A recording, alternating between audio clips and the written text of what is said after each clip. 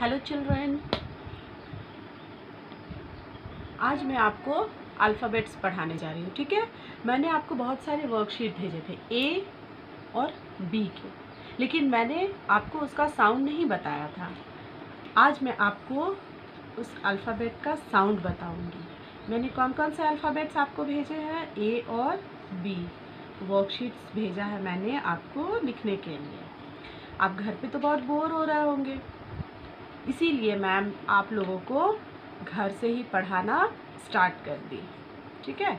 तो ये क्या है? ये ए है। हम तो इसे ए बोलते हैं, लेकिन इसका ओरिजिनल साउंड क्या होता है? इसका ओरिजिनल साउंड होता है ए ओरिजिनल साउंड क्या होता है? ए ए जैसे हम एप्पल बोलते हैं तो एप्पल को हम कैसे बोलते हैं? पहला हम ए बोलते हैं। क्या बोलते हैं?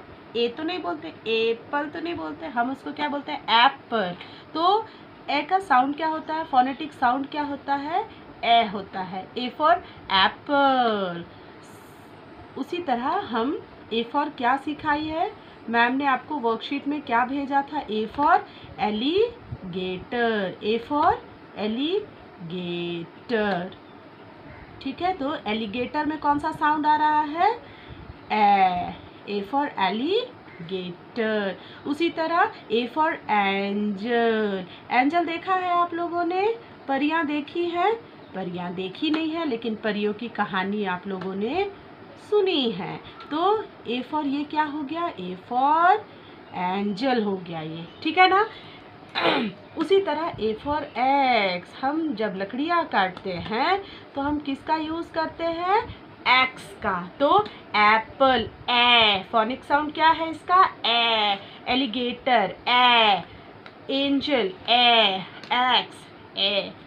उसी तरह अब हम बी पर आ जाते हैं। बी को हम कैसे प्रोनाउंसिएशन करते हैं? बी को हम क्या बोलते हैं? ब। ब। ब। ठीक है? बी से क्या क्या पढ़ा है हमने? बी फॉर बैट ब। बैट बी फॉर क्या पढ़ा हमने? बी फॉर बैट और क्या पढ़ा हमने? बी फॉर बॉल ब बॉल ब बैट ठीक है?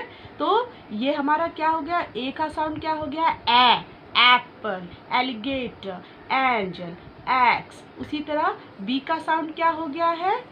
ब बॉल बैट बॉल ठीक है? Thank you